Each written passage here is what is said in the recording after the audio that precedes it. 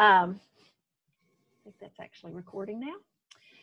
So we're having our virtual potluck discussion. Of course, potlucks are a way that we often get together in our society um, to gather around food and fellowship, and that's really what we're doing here. So if you're having lunch, as John was having lunch, then no worries about that. Just um, eat and comment as you can. But um, what we wanted to talk to today is, first of all, again, to give you all an opportunity to get to know each other a little better. Um, we want to explore some ways to make our online meetings a little more human. I think that um, for some of us, we're going to be having online meetings for a while. And so we have been trying to look for pointers on how to do that well. And so we'll just very quickly share those because we want to have you all actually spending more time talking than we are. Um, but then we want you to dish up your questions to us. And a helpful way to do that is for you to put this, the questions that you wanted to discuss, especially if you've come with a question, a specific question today that you want to talk about as this group, then put that question in the chat box. And Jacqueline is going to be mon- helping monitor the chat, bo- chat box, and she's also going to be taking notes in the chat box so that we can download those notes after this meeting and get them out to everybody if we have things that we need to share that way. And then we also want to take a few minutes um, toward the end to determine whether the COVID 19 crisis has created any specific new training needs for you all as, um, as affiliate community foundations. And so, um, so we can touch base about that. But first, because this is a potluck, let's have a little bit of food and fellowship and some getting to know each other. And so um, this is really just for fun. Um, if somebody could share your favorite potluck food, or if you don't do potlucks and you have a comfort food with this group, what would that food be? And is there a specific memory or other reason that it is your favorite food?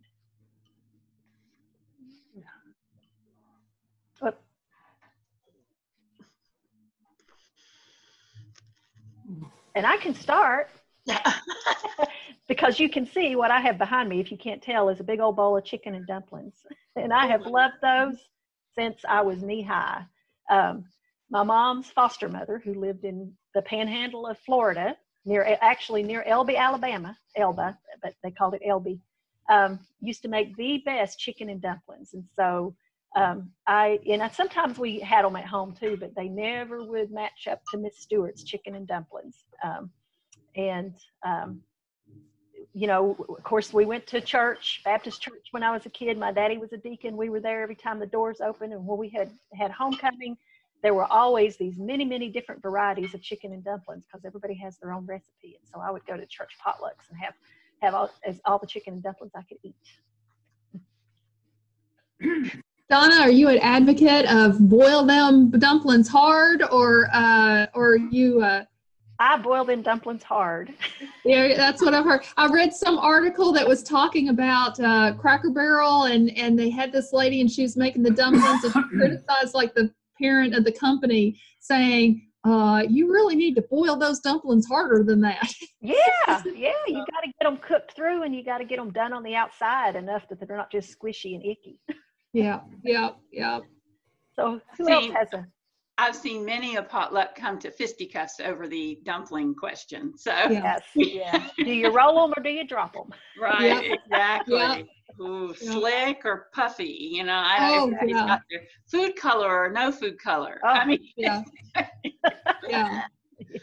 Oh, I just I'll just show. I saw this uh, like uh, hack, okay, that you could make dumplings and you take flour tortillas and you cut them up, and you drop them into the boiling and all this other stuff. And I made the mistake of taking those to my in-laws for a meal. You know, when a neighbor had dropped off some homemade dumplings. So here are my tortilla dumplings next to this homemade yellow across the top. It has so much butter in it you know, and I, I, was just like, okie dokie, we won't be doing that anymore. That one just doesn't even come close. uh, well, I always get roped into bringing the ham, mm-hmm. and I don't mm-hmm. even like ham. Oh, no. but I made the mistake once of doing this like overnight slow cook big whole ham thing once when I was feeling really froggy you know, 20 years ago and took it. And now every time there's a potluck, Jerry's got to bring the ham. you know, the salty, big hock of a ham. Yes. But it's very potlucky, you know. Mhm. Yeah. It certainly is. My favorite though is all the pretty salads that come to Oh potluck. yeah. Mhm. You know, somebody's on, and then of course dessert. It's the only time you get the whole array of the homemade dessert table from all the church ladies. So. That's right. Yeah, I'm kind of a dessert person. I always do like a chocolate chess pie, and that seems to be, Mm. Oh, those are good. Yeah, know, and that, that's, you know, I have that down to an art now. Just whip it up, put it in the oven, and it's ready to go. 35 minutes. No calories, Jer- Kathy. Right. That's the best thing about potlucks. No calories. No calories. Yeah. Especially this particular potluck. Right. Exactly. Yeah. Well, no, I'm eating soup, so I'm having my soup. There you go. Yeah. Well, So you know, I'm not I'm not a very good cook, okay? I mean, um, seriously, that that's not one of our spiritual gifts, all right? And um and so anyhow, but when but I you know, you just can't go to a potluck and not bring anything. So you have, you know, I mean, you've got to bring something. Well, I discovered that you can in the slow cooker overnight, you can uh make baked apples, you know, where you like cut the apples up and you put it in there with sugar and brown sugar and cinnamon and all this other stuff and you leave it on all night while you sleep. And if you take the crock pot in with, well, anyhow, that is now my signature dish, the only one that I'm capable of doing without ruining. Um, and uh, and most of the time, I do not come home with any, which uh, is the. I mean, is there any greater insult than to be the person who has to bring home food from the church pot? Right. Yes. Yeah. Oh, So right. Yeah, there's that. Yeah. Uh, Jacqueline, you're quite the cook. Is there a specific thing that you?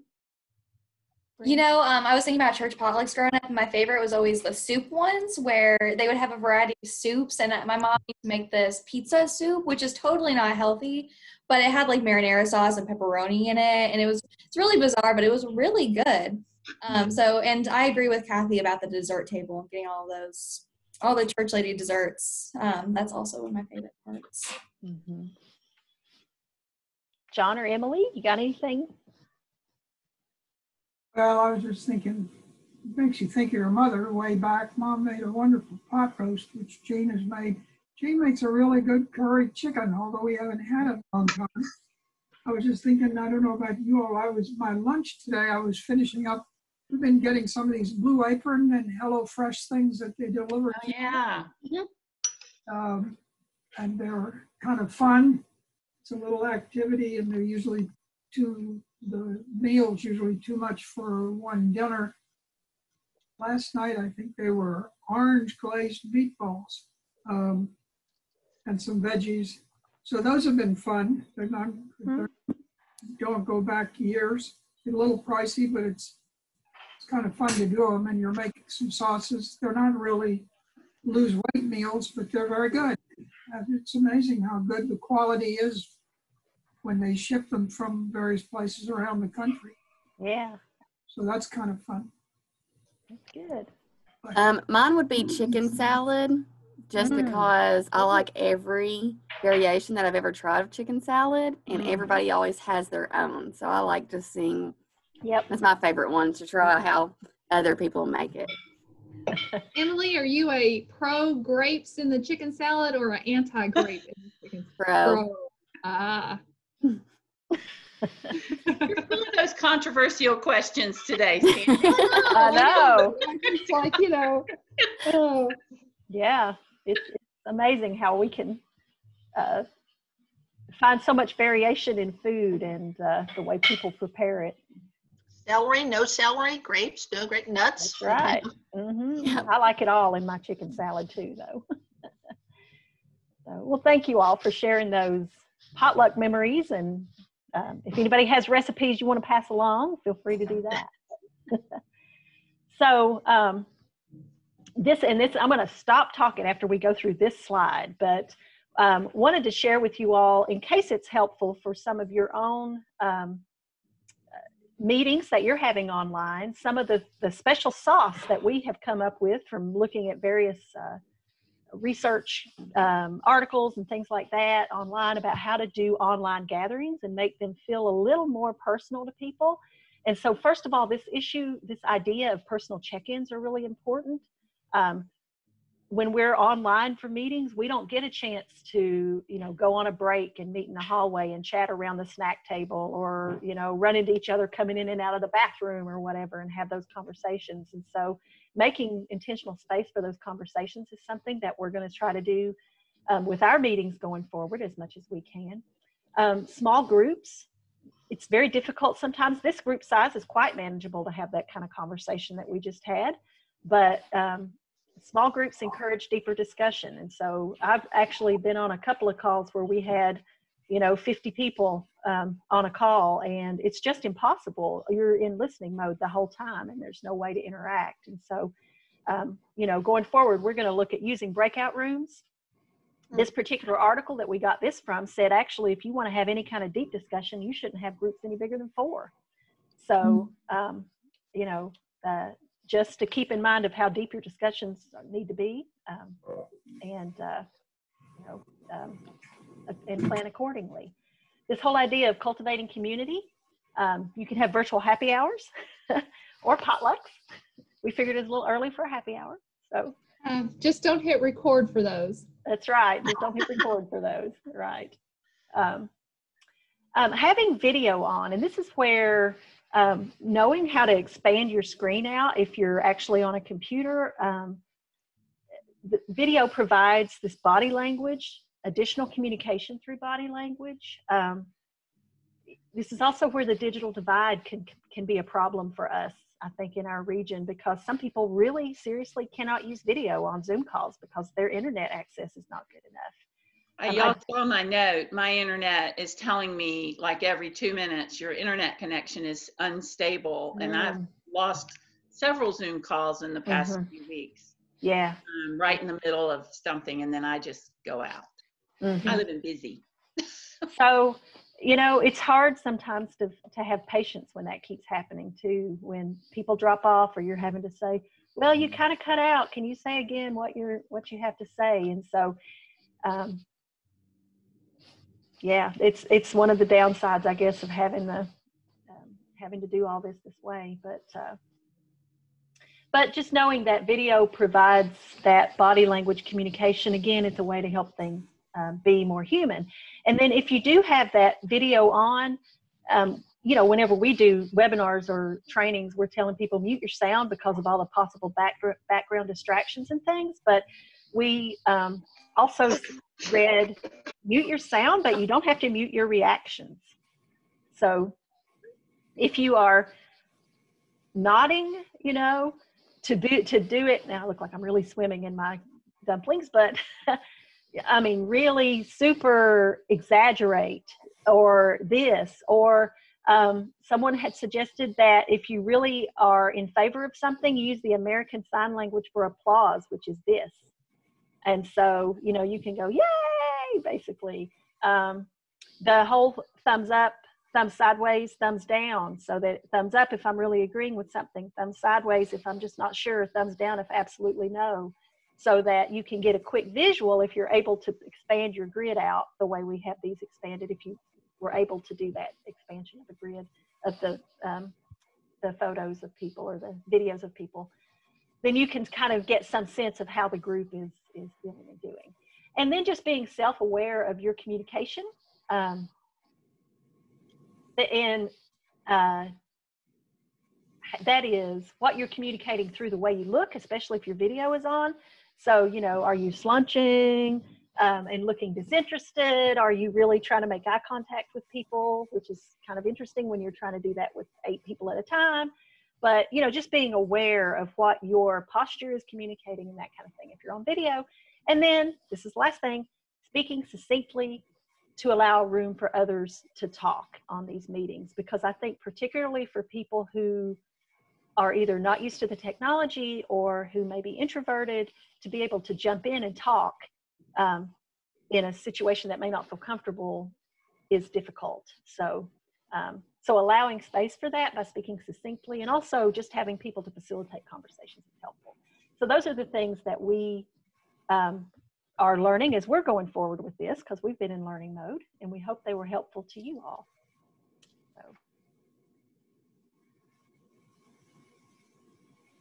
And now we'll have you dish them up. Or, or do people have comments about what we just talked about? We'll do that first, actually. Any thoughts about that? Or lessons that you've learned through your own video conferencing that you want to share? So if you're using Zoom and the breakout rooms, does that have to be a paid Zoom account or an, you know, an up, there's an upcharge for that? Because I don't think I've ever seen that, you know, when I'm, uh, uh, you know, inputting the, the Zoom request. Mm-hmm.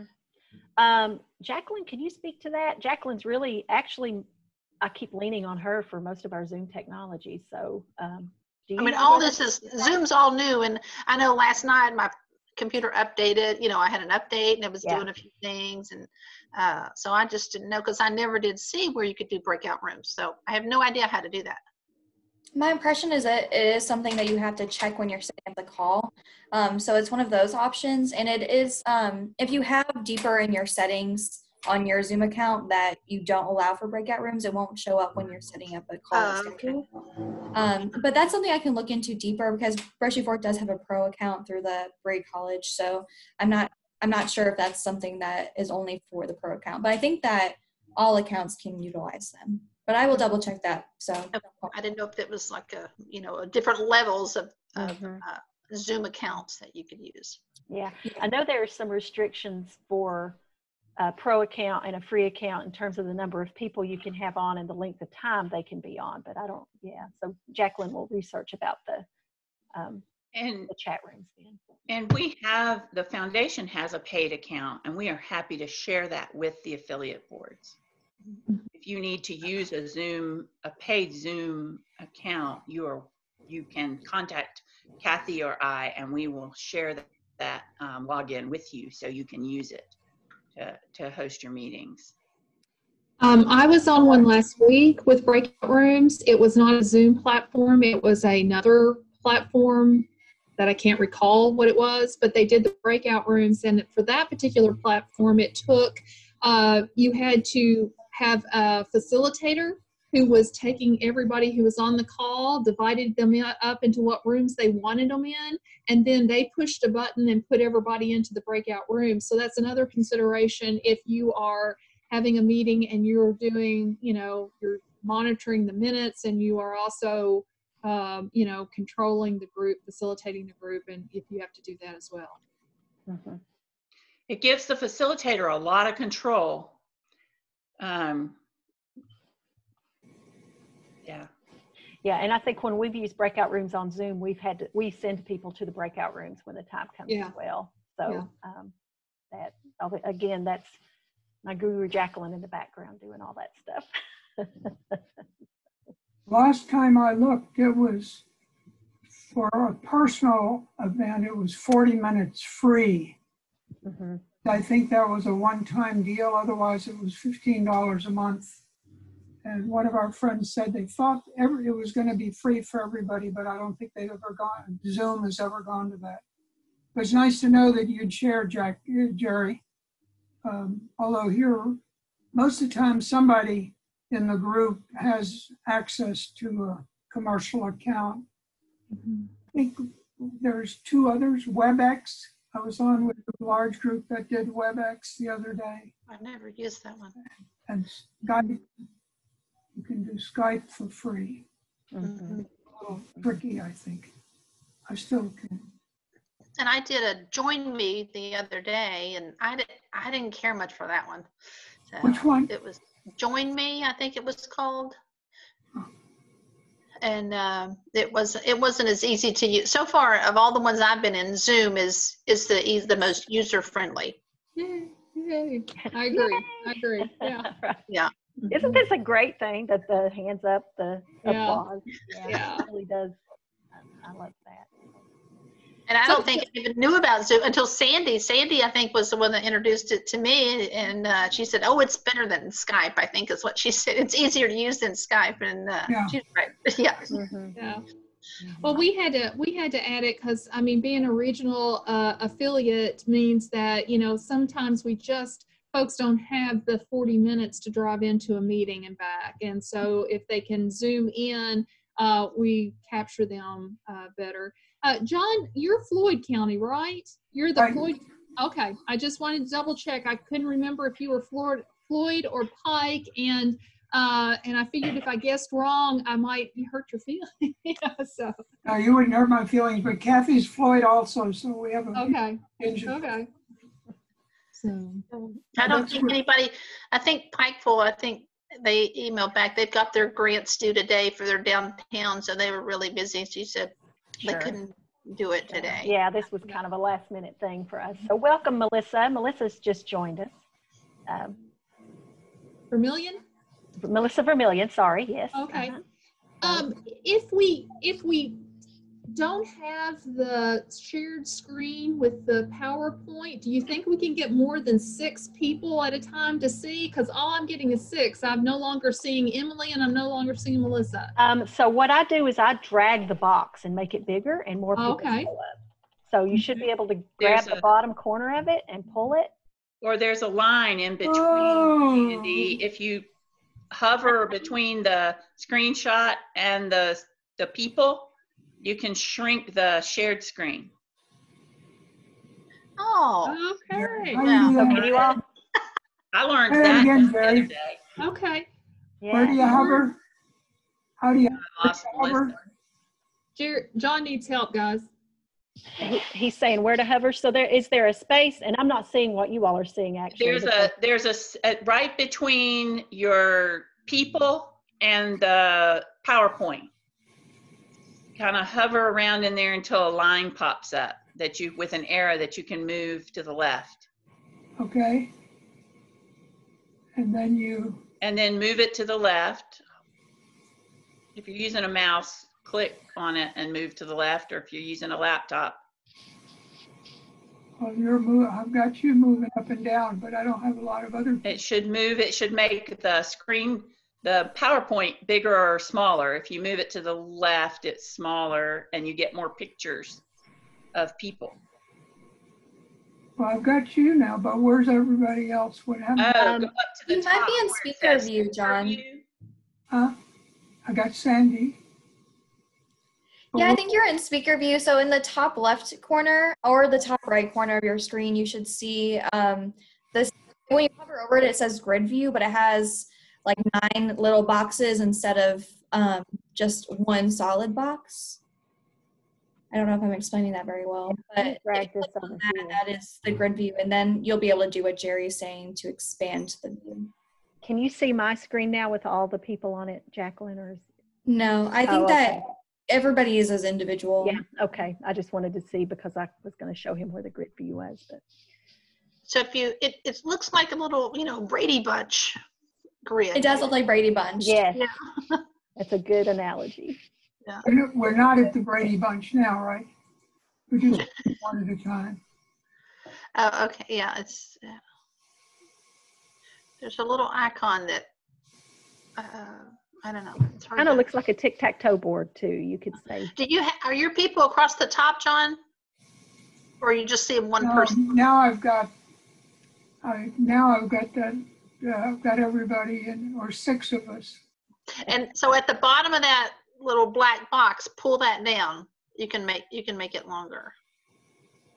At the very, if you hover down there, drag it down, Okay, I've and it should make room for more pictures. I mean, if you had Yep. 50 people, you couldn't. Yeah, yeah. Right. But for this number, you could should probably be able to see everybody. So well, I've got Um, everybody now. Where's the PowerPoint? Oh, oh. Maybe, um, so maybe we need to do a whole webinar on Zoom training? yeah, let's. Yeah, it wouldn't be bad. Yeah. Let, okay, so we're going to add that. This is one of the reasons we wanted to have this Yeah. conversation today, because we can add that to our list. Um, Yeah, one of our, one of our national funders did that for, Mm-hmm. you know, the whole world. Um, I think we had three pages of people. Um, and it was, it, I mean, it made my head swim. It was so much information. But Yeah, I would yeah. like just basics. If we get, we can, we can try to put something together to do the basics of how to use Zoom for your boards. Then that's a, um, that'll be Someone that we worked with at Berea College put together some really helpful Zoom tip graphics by being on a call and then taking some screenshots and then using some arrows and That'd be great. kind of um, so that might help also with being able to describe where some icons are and how you can do some of these things. Mhm. 'Cause Yeah, I think We'll be doing this for a while. right. And it makes Zoom so much more usable if you have some tricks and techniques. So, And like Sandy said, even if even once we're able to meet in person again, I think that Zoom Yeah. is a good tool if you're not if you're traveling and you don't want people to have to travel for a meeting. So Mhm.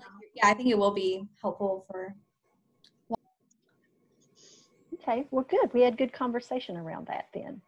So if you've been able to put any questions that you have, any questions that you've brought today um, into the chat box, we could just go through those questions. Um, I actually have not seen, I see we have 10 chat things. I don't think anyone's input any questions yet. Okay. So, um, oh, good. And Jacqueline's taking notes. Good. So, any any questions that you have that you want to discuss today? The door is wide open. It can be questions that are related to the trainings that you think we might need to be doing. Questions that are related to how your community is dealing with COVID nineteen. Just what is it that um, that you all would like to talk about today at our virtual potluck?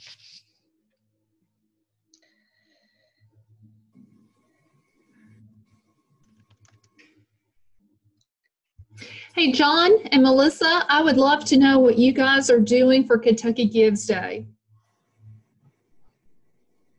Um, the college um, always does kind of a social media blitz. Um, I honestly have not been on social media at all today.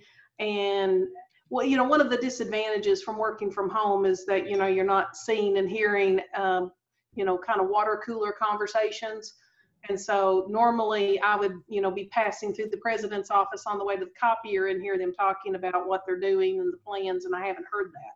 So, and I've not been on social media today, but in years past, um, we have put together a big social media blitz, lots of email distribution, you know, things of that fashion, you know, asking because, you know, as you probably know, the college does have a, um, a nonprofit uh, foundation. So uh, they try to, to raise money for that. But again, I've not been on social Perry media, County Community Foundation doing anything for Kentucky Gives Day, Melissa? not that I'm aware of.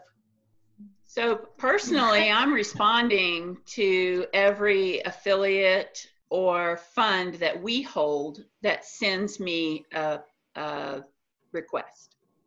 So First I one came from Upper Cumberland. I saw that you put something out, Jerry, and did it have um, the community foundation listed on there? Yes. So I, I saw Yes. that came But- out uh, as far as doing something individually. Yeah, I, I think, yeah, we're, you know, we're just sending it out from the foundation, listing all the funds that are participating. Yeah. um, you know, and then some of the uh, board members, uh, I'm sending out a, a small email from the board member to the board members and ask them to forward to their friends, you know, if they if they if they choose to. Um, Upper Cumberland, um, Randy did a really nice job on their message and Sandy forwarded it to me. Um, and so, you know, and then if, if they do that and everybody on the Upper Cumberland board then forwards it to all their contacts, it should, you know, help a lot. And um, we had some glitches with a couple of links this morning. And um, I think Tanya's still working with the Kentucky Nonprofit Network. because I don't think they they got know 'em. what's Going on either. Did she get those? I think they got them fixed. Yeah, there's there, for Okay. some reason there was not a donate. They had to verify the bank account or something from the new funds, but now I think they've got them fixed now. So, Terry, when you said you were responding to people, what did you mean? I mean, I'm making a donation to every personal appeal I get. You say that again? I'm making a donation for any personal appeal that I get from an affiliate, board member, or fund that we hold. You personally are or? Personally, Okay. I personally am making a donation. If I donation. send you an email and say, Jerry, how about giving some money to the Floyd County Foundation? Yep. You're gonna do that. Wow. Wow. Well, thank you, Jerry. I had no idea. I had no idea.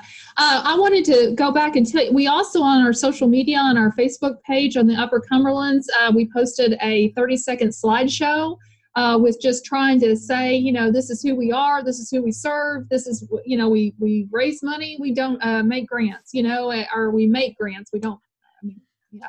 But anyhow, in trying to uh, provide for our board members any tool that would make it as easy as possible for them to spread the word. Mhm. So, um, Yeah, so if you, if John, you should write an appeal and attach the link for Floyd County or any of the funds. I'll give it, yeah, I'll give it to Yeah, him. Yeah. Kathy's gonna send one and, uh, and then get people to forward it to their contacts.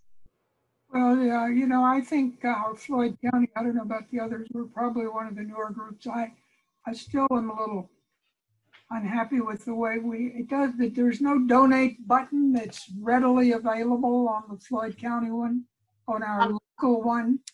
Um, And uh, of course, I'm sure that it's true of others. We're on other nonprofit boards. There are other boards I've been on that I'm on especially KJC and the Kentucky Equal Justice Center started two or three week days ago and have a big, I've done really well on Kentucky Gives Day a couple of times a year.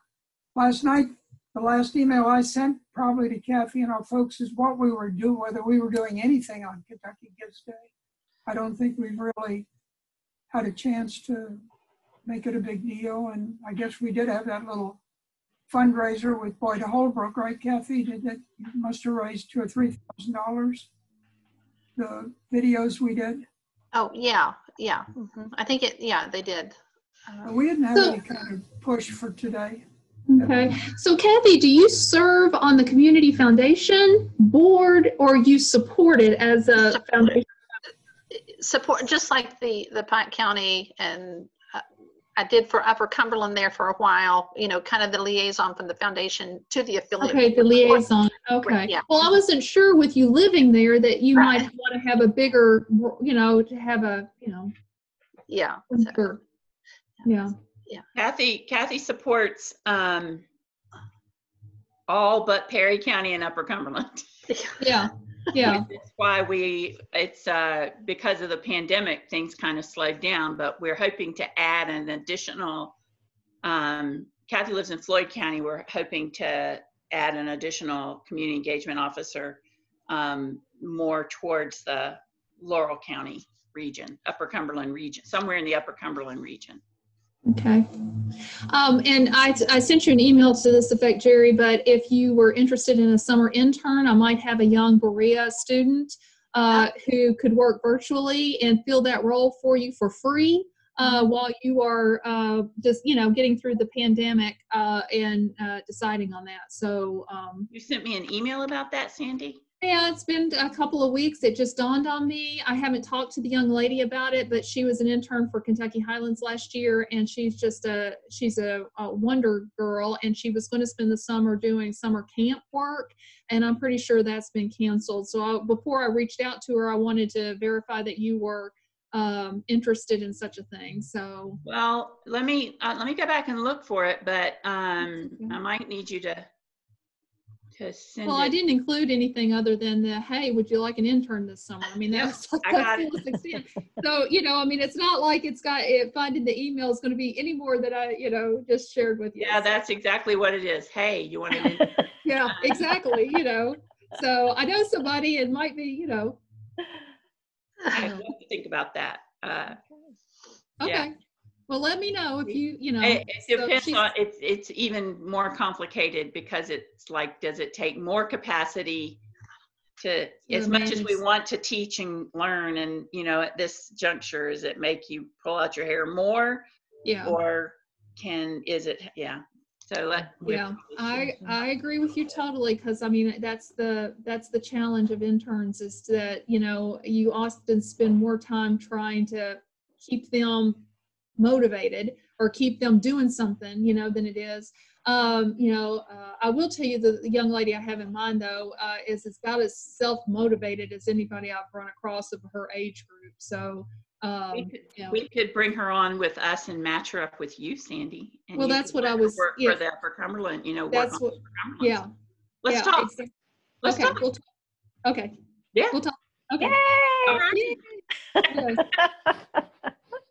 You know, that's a good question, though. In the bigger picture, is how Mhm. could we make better use of interns and young people in our region? We have Pikeville, we have Berea, we have Hazard, you know, all the community colleges. What could we do? What ways could we be more engaging with our our students in the summer? And um, you know, is there a way with the affiliate boards who do need support because they are all volunteer boards? Um, is there a way to think about ways that we could engage our uh, college or post-secondary students more in philanthropy over the summer? So, um, my thought is from having two children currently in college is I know that Sandy just mentioned that this particular student from Berea could be an intern for free. Is that it's really good when things can be paid um, Yeah. because my kids are both having to pay a lot of expenses out of pocket right now um, at school, and and they really do look for the summers as an opportunity to to uh, earn some money. Yeah. So um, you know, I- and and maybe there's a, a a small budget or something that the foundations, each foundation might be able to to uh, budget for. But you know, I'd really like to find opportunities for paid internships. Um, and, and plus, I think the paid internship looks a little better on a resume as well. I, I didn't realize that. See, back in the old days, you know, nobody got paid for an internship. I mean, I gave so many hours just to build my resume up, but that was back during the end of the baby boom when I was actually going to have to compete for a job, you know, and and now it's gotten to where it's not as uh, you know, it's almost like uh, we're now competing for you to work for us, you know, and um, and and I mean I I get the idea that um, you know that a stipend is useful and and so forth. It's just that um, you know the organizations that need them the most are often the ones least likely to be able to provide a stipend. Right. You're Yep. totally right, Sandy. And I think that through Berea, um, they are they offer students some stipends if they are having an unpaid internship, so that they're still getting paid. But Melissa, that's a really good point that a lot of students aren't able to um, do that for free. Yeah, it's things are different now, and these kids are having to pay so much out of pocket.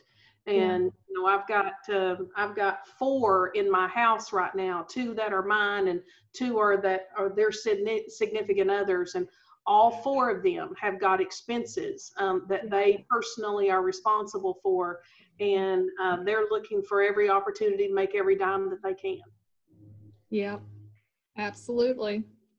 So, you know, the, the problem is, is like, you know, some that might be very gifted towards internship and good productive work because they don't get paid, they're going to go out and mow grass and pull weeds and power wash driveways for the summer because they make, you know, some Better good money money. doing that. And so, Yeah. you know, do I go and learn about nonprofit work or do I go, you know, make $400 for power washing a driveway?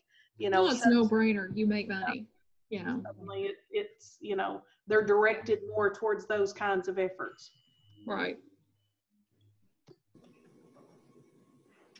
in Yeah. the in the vein of that and um, we actually have been doing some very early thought here at brushy fork about what we might do to connect younger leaders and older leaders in in this region in eastern kentucky and particularly in light of many nonprofit organizations who may have leaders who are um, you know getting older maybe thinking about eventually transitioning and retiring and they're not sure where to find that younger leadership to step into those roles. And so, how do we create something that connects Yeah. those people? Um, and that, again, that's just very early thinking that we're we're doing right now. But I think hearing this conversation makes me think we may be on the right track for some things.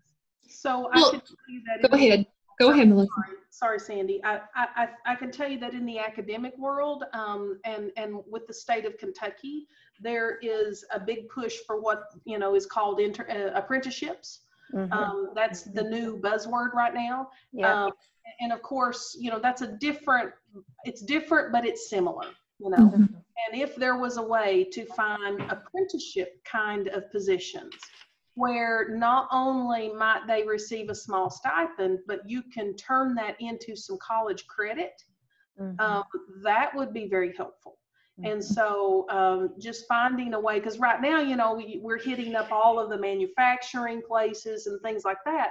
But what about the nonprofit world? What about Mhm. people who are going to be interested in public administration? What about people who are interested in, in becoming, you know, um, um, a director or, or a lead person in, in a nonprofit?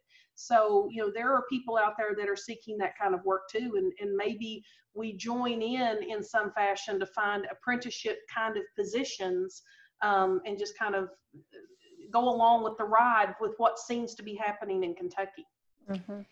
Building on that, Melissa, if we were to go with the Service Year Alliance and and try to connect in and get these and let them not be apprentice, but let them be Vista volunteers, Sure. then they Yeah. would get that uh, credit, you know, and it wouldn't be that difficult for us. I know Berea is already, through Partners for Education, has already got a relationship with the Service Year Alliance, but if we were to expand that uh, and maybe uh, push it out a little deeper into Central, Central Appalachia, um, the second thought that comes to mind is let us not forget that there are two groups of emerging leaders that if we wanted to add value to their acceptance into the leadership programs we could. One is the leadership kentucky bright scholars uh, that uh, you know uh, how about we do something that really gets them excited with a mix and mingle uh, with uh, young you know uh, the you know you get the emerging under 40 leader meeting with the young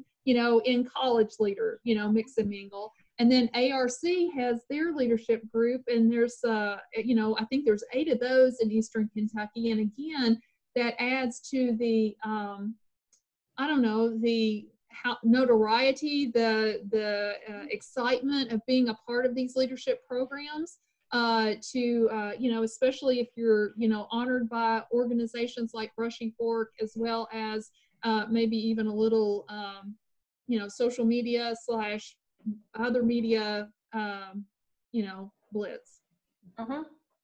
So This how- is Emily, and um, with the apprenticeships, I'm actually working with SETIC on doing making those more um, the ranges more, you know, so like the nonprofit world, and we're also looking into um, tapping into the high school students.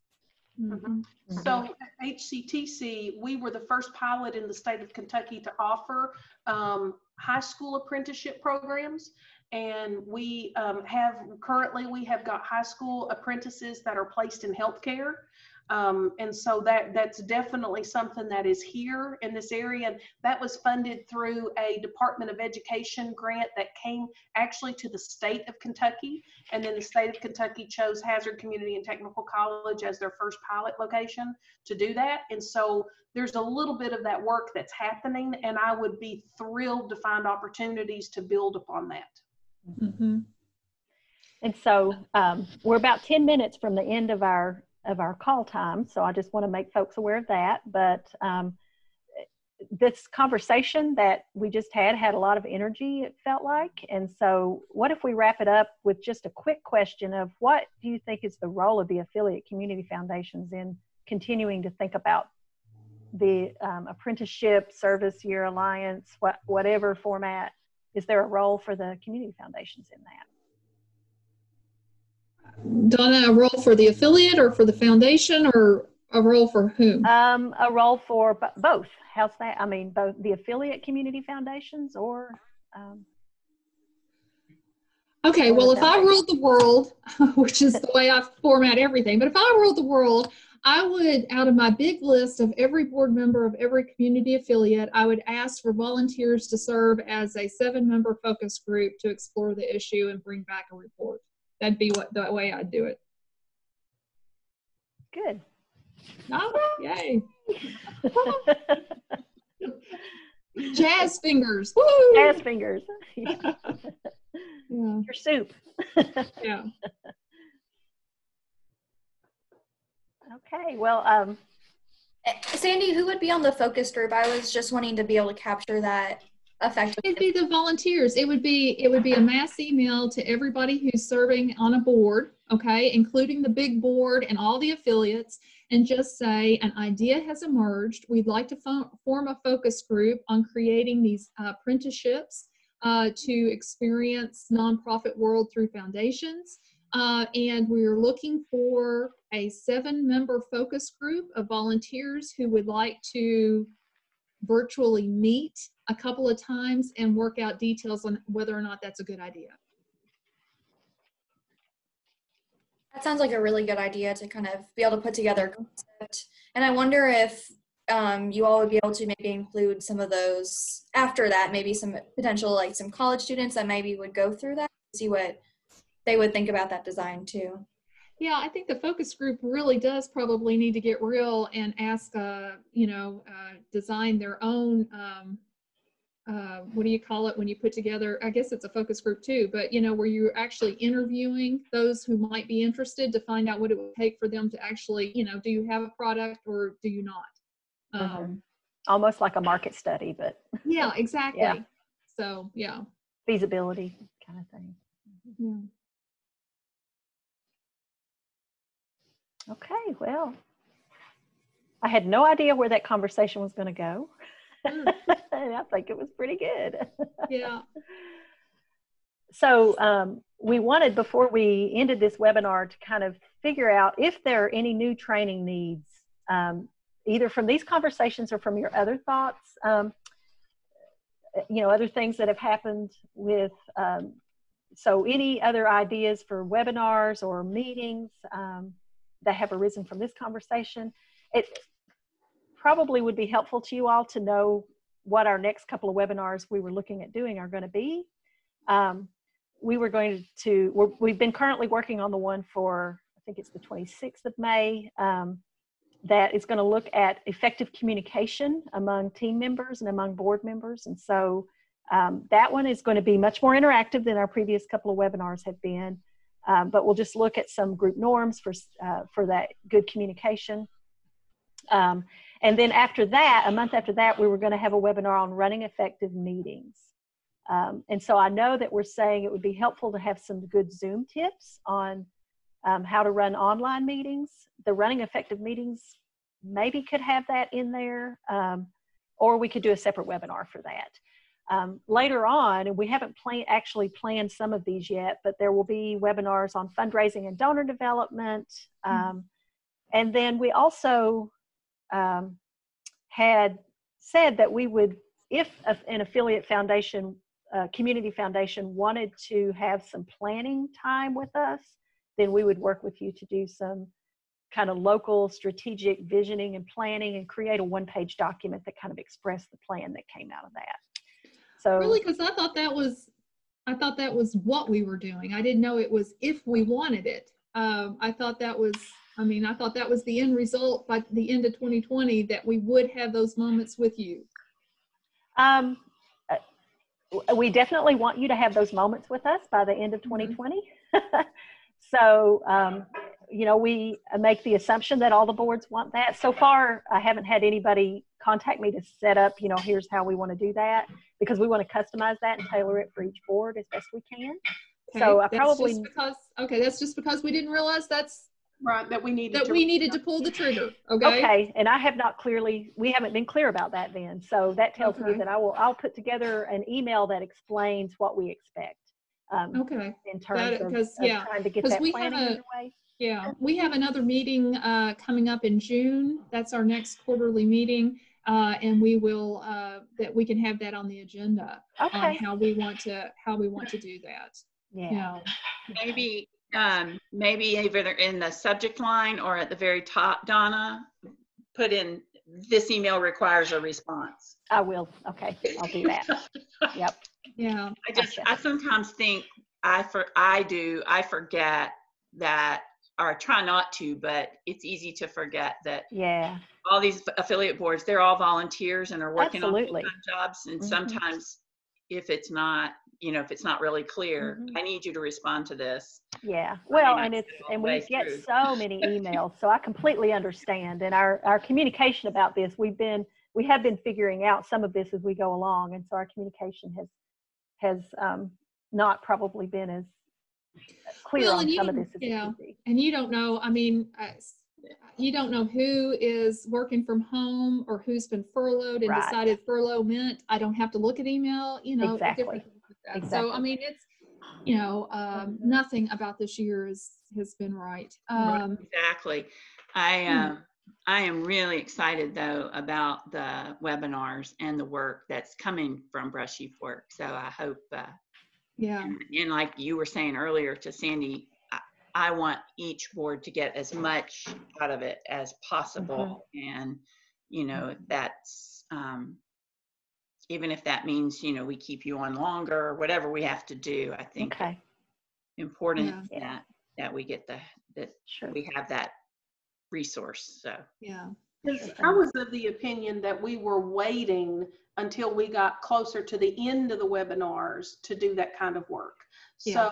So, um, Jerry, I know that as, as helping out the Perry County Community Foundation, if you would put that as an agenda item on our next, um, on our next meeting, uh, that way we can talk about that and, and make sure that the entire board knows and, and, and, and it'll be on our calendar then, I guess, at that point, once we have a conversation about it. uh-oh i just found out that jerry supports perry by doing their agenda i bet she does the minutes too guess what the upper cumberland's going to want Actually, Sandy, I have not ever done an agenda for them. Erica was doing the agenda for them, okay but Melissa will tell you that I barely got the information to them, much less an agenda. She did So have, tell the truth, Melissa. yeah, she had to, like cram during the Yeah. meeting. I uh so far, and I even completely missed the April meeting, and we had we postponed it till May. So Yeah. I'm not that great. Oh, And man. Wanda's really good about doing the minutes. yeah, She's- and Wanda does That's. Wanda's, Erica. yeah. yeah Actually, you have to- come in all, everybody has Gotta good figure out. Yeah Um, people taking the minutes. yeah, what my my huge big fantasy and vision is that we build all these endowments for local communities so that each community has their own full time staff person. Mhm. We want that. That would be great. wouldn't it? okay We 'Cause want see, I All was right. just- I, you know, I was looking for an endowment that we could actually generate our grants off of, and I didn't realize What? grant one would be to pay a salary. But you know, I, you know, so Right. uh, We yeah, want it Yeah. all. We want to give it the first. yeah. So, so anyhow, I, I just wanted to throw out one more thing, and that was our last uh, webinar uh, on the and um, we were those of us who were on board talked about it afterwards, and we're like, man, we wish that webinar had been available when we all got together at Cumberland Falls. And we were all sitting around a table trying to figure out what we needed to know about this organization without having to read the manual. Okay. And that, and so it was, you know, it was a bit of a, a review for those of us who've been doing it a couple of years. Uh, but, uh, you know, uh, we just, I think it will, I think anytime you get a community that says we're thinking about becoming an affiliate, you need to have them in a room together and they need to watch that webinar, okay? Uh, because uh, that is a great way to digest a lot of information out of that uh, manual and um, um, to be able to move forward. Um, it also was reason we great- recorded them, yeah. yeah, it, it was also a great reminder to me that our officers are uh, supposed to be elected annually. Uh, we have not done that. Uh, we uh, and we're going to have to start talking to our board members and uh, Emily, listen to this part. You know, uh, we're going to have to start preparing some people to step up and take some roles because we were thinking of it in terms of you know your board member you could serve you know three years and then three more years and then three more years but then you had to rotate off and we were looking at that model for the officers too and uh, it's clearly noted in the manual that that's not the case and we've not been preparing for that. Uh, so we're going to have to prepare for that because that's going to be a big deal.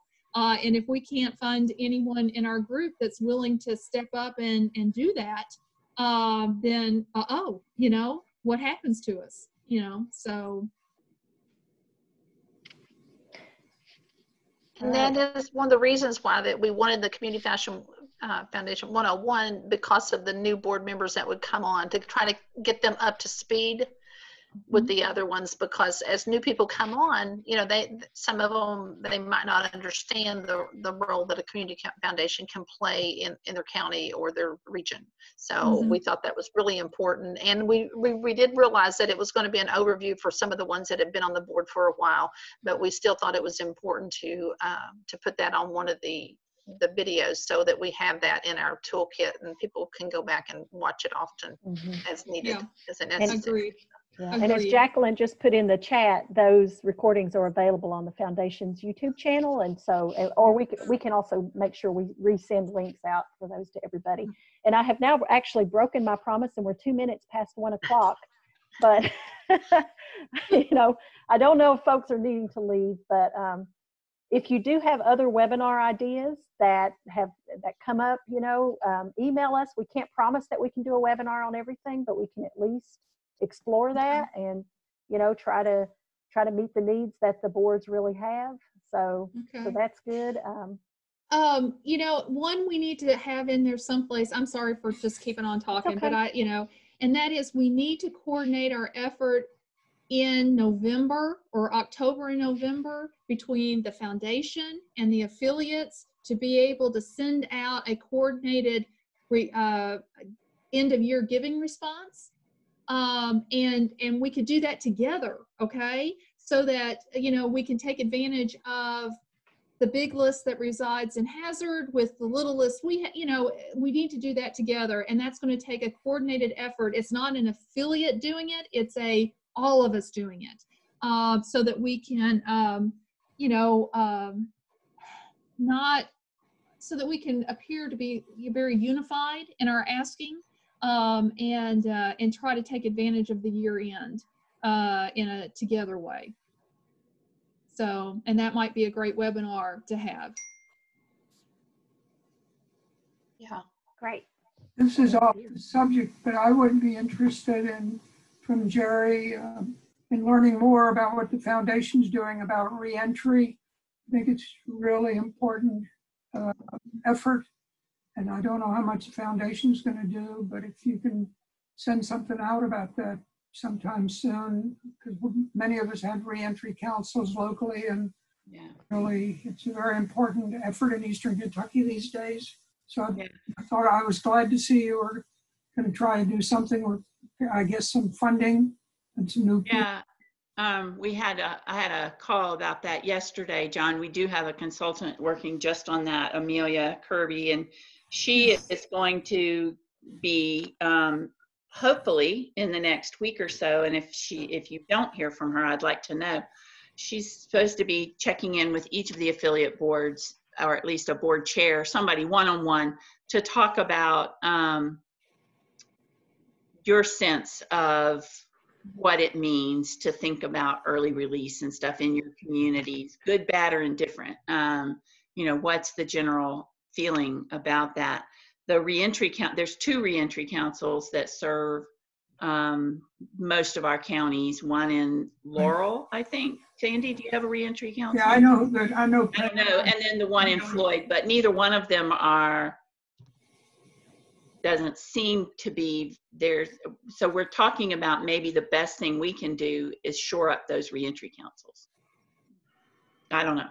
So there's a lot to be thought about in that regard because I think local opinion is going to have a lot to do with it. I think, and there's, there's a wide array of opinions about what that means and what it looks like and what we, you know, what we're talking about. So mm-hmm. it's complicated, and that might even be another area where we want to get a, a working group or a task force that covers all the affiliates. Mhm. You know, like this seven-person intern, you know, sort of conversation.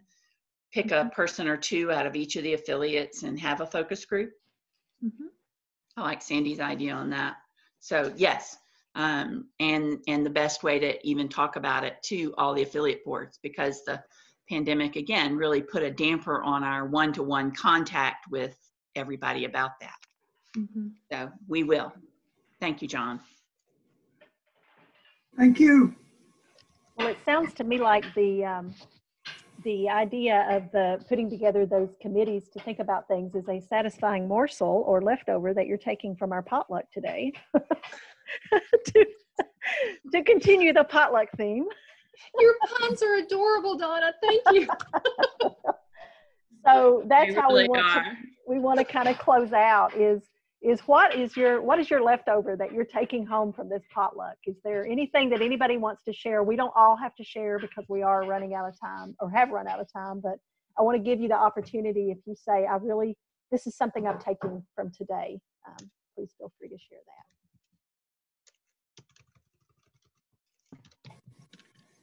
I'm just I enjoy being able to meet all the other affiliate, uh, you know, and I'm sorry that whatever happened, it, you know, um, you know, I would almost suggest to you that in between every webinar was a potluck, you know, uh, uh, and uh, trying to increase and expand our uh, exposure to one another, um, and uh, um, yeah. So, but that's my morsel. I enjoy meeting uh, you know, I know John, I know Melissa, I know them very well, you know, uh, and of course I've, you know, Emily is my gal.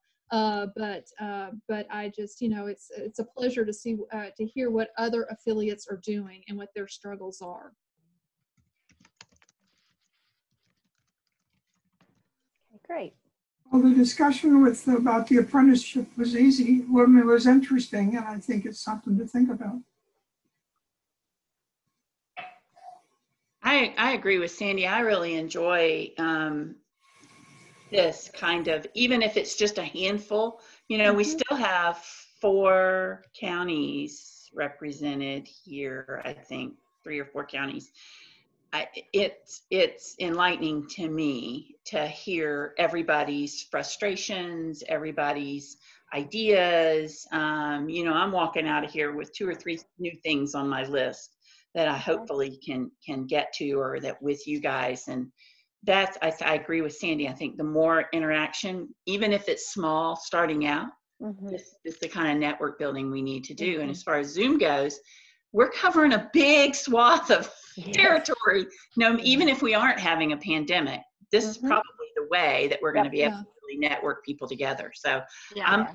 Really curious and interested in that. I love the idea of having the potluck in between each webinar. Okay. Mhm. Um, and I made a note to you all about that. if we can pull that off, let's Yeah. let's figure Mhm. out how to make that happen. We'll look, we'll look at how we can fit that into Yeah, our if- work. if and- you've got the capacity and we can Mhm. engage you to do it, that'd be great. Mhm.